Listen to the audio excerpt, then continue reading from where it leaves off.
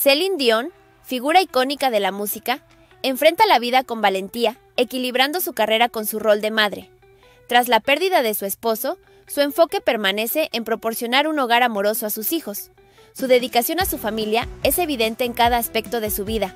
Celine y René Angelil, un amor que desafió prejuicios por su diferencia de edad, consolidaron una familia unida. Se conocieron en 1980 y se casaron en 1994 en la Basílica de Notre Dame en Montreal. Su legado continúa a través de sus tres hijos.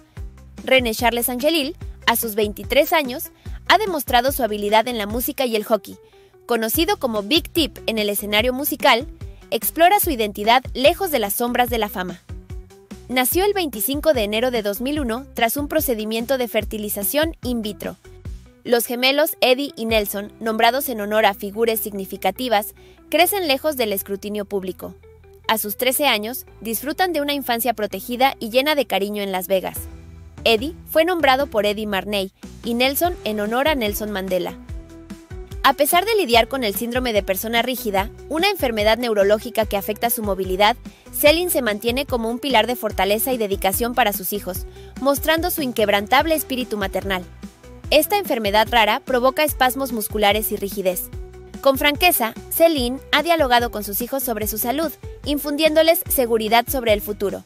Su honestidad y apertura fortalecen el vínculo familiar y preparan a sus hijos para apoyarla en cada paso. Celine les ha explicado su condición y plan para el futuro,